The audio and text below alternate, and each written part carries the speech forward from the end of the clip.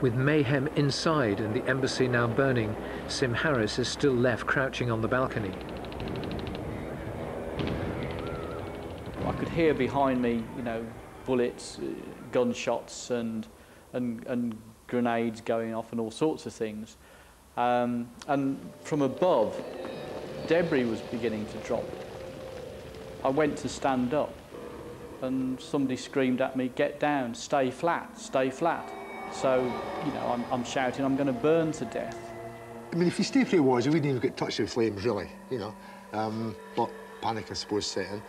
So it was bring him back over to the other balcony to bring him back into the room because he wouldn't come through the flames. I mean, because all the curtains were all falling down, uh, there was shit coming off the ceilings that was starting to burn. I mean, it was hot because, I mean, my, my boots were actually melting. I, I burnt all the soles of my, my boots. I was prepared to jump. I thought, it's one floor. As long as I can avoid those spikes on the railings, I'll jump. And I kept wanting to go and to stand up. And they kept shouting to me to stay down, stay down. And then they actually threatened to shoot me if I, if I stood up anymore. To shoot you? Yeah. I presume it was to persuade me to stay down. And then they said, look to your left, look to your left.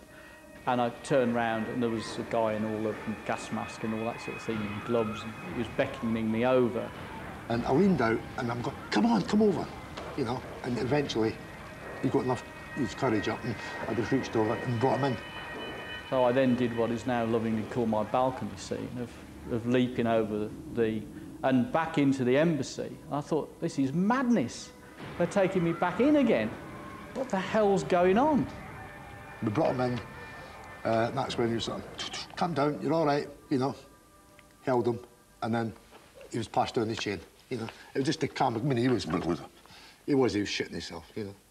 By this time, they were getting the hostages out. And I tell you, when the SAS gets hostages out, they don't mess about.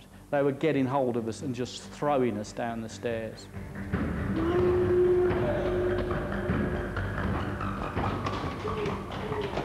Hand to hand, boom, boom, boom, boom, down they come into our hands, whap, whap, whap, out the door, out the door, out the door. Now there's smoke, now there's fire as well. Um, so we want these people out quickly because now we've got the threat of fire as well. And we want to get ourselves out as quickly as possible. As I grabbed the fellow and pushed him past me, remembering that we were all wearing respirators and we couldn't identify each other, but the hostages we could see and identify. As he went past, I knew that I had seen him and I couldn't for a, a second or so remember where I'd seen him from. But as I let him go and he was passed on down the line, I remember from the, the photos and people behind me started shouting, that's a terrorist, that's a terrorist. Up on the stairs, there was a voice that shouted, he's a terrorist, he's a terrorist. And we saw somebody stumble down the stairs. And nobody could actually open fire because if the guys on the stairs had opened fire, the bullets could have gone through the person and hit somebody behind. If we'd opened fire, the same situation. If we'd hit the terrace where we were, the bullets could have ricocheted into our own men. And then somebody shouts, grenade, and he had a fucking grenade in his hand. So as he came clear at the bottom of the stairs, there was me and two other guys standing there. And as he came clear, we just, we all fired a burst each, and the guy had 27 holes in him. That was it. There was no, no drama. His body just went, that was it. He was on the floor dead.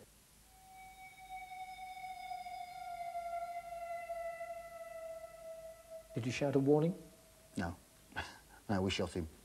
He had a hand grenade, we shot him. That was it. End of story. No reason to give him a warning. He might have had time to pull the pin out and throw the hand grenade in that time. Had you killed a man before? Yes. Um, it was a job well done. There was no emotion at all. It was um, one of the simplest experiences up to that point in my life.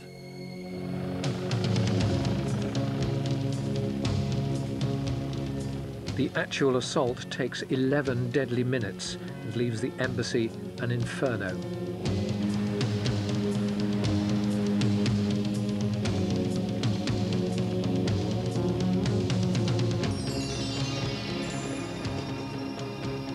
There's gas, there's confusion, and across in the far distance, staggering towards the front door, I could see Trevor Lock, and I ran across and grabbed him, and pulled him towards the door. That was great. That, that felt brilliant because we knew from that point in time that our number one priority had been achieved. Trevor Lock was out of the building and he was alive. The hostages are bundled out of the back and manacled face down on the ground. But there's one hostage too many. The routine is that everybody gets handcuffed, whether they're hostages, whether they're terrorists, everybody gets handcuffed. You've got control of them. They're not running around like chickens with their heads cut off. You've got them where you want them. And you've got Sim Harris on the floor lifting his head up and shouting across, that guy's a terrorist, that guy's a terrorist. They said to me, is he a terrorist? Are you sure he's one of the terrorists? I said, yes, I am positive he's one of the terrorists. And they lifted him and he went off behind me somewhere. One of my team actually goes across and picks this guy up to separate him from the group and starts to walk back towards the building with him. So um, myself and uh, the other team member, we went across and said, uh, I think we should put him down here because we weren't quite sure where he was taking him. You say you weren't quite sure where he was taking him? We weren't quite sure whether he was going to take him back in the building or he had, had, if he had any other ideas. So we just made sure that the procedures were followed correctly. And those other ideas might have been? Some people would have expected him to be taken away and killed, but that would have been totally against policy, totally against the rules. And we had hundreds of policemen, and we had people with cameras, and we had the world's media on us. It would have been a very foolish thing for somebody to make that sort of mistake. The operation is a spectacular success. All but one of the remaining hostages come out alive. The SAS withdraw to Regent's Park Barracks for a debrief and a beer. This loaded beer turned up. Everybody in this room, you know, have a few beers. And there's a television set up and all these tins of beer, so everybody's sort of, you know, quick swig, as you do.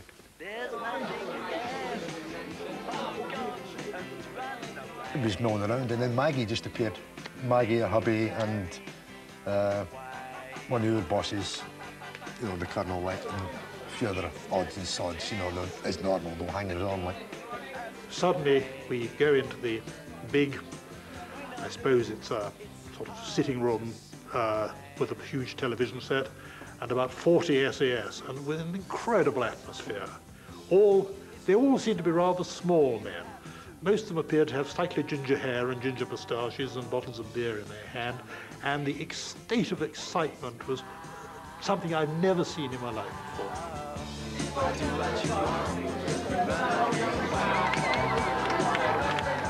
They were sort of like a pack of hounds, just, they just roared their welcome. And uh, the air was thick with testosterone. It was an incredible atmosphere. Both her and her husband were very, very casual, and uh, he was very, very much on our side, and he was quite upset that one of the terrorists had got out, I think, because he, he told us in no uncertain terms that we had failed in some respects. What did he say? He had a big grin on his face, but he was, uh, his exact words were, you let one of the bastards live. Suddenly, it was going through the, the start of it on the telly. It was like a news flash thing, you know. You see you. Ah, yeah, I see me. 30 seconds, 45 seconds later, a second explosion. Of course, I'm trying to watch this. I mean, well, to me, it's not a funny thing. I'm like, and there's this head right in front of me. You know, I'm a short arse, but there was this head right in front of me, and I said, for fuck's sake, you know, I didn't know whose head it was. It was Maggie. You know, I said, move your fucking head. I did, I actually swore, you know. And she, I'm sorry, and she just moved. You know, didn't bat an eyelid. She just moved her head, you know, and she was actually sitting watching it as well, you know. was, I believe, a brilliant operation by the Special Air Services with courage and confidence.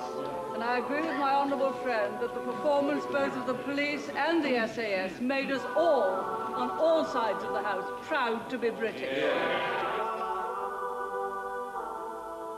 message to terrorists was if you come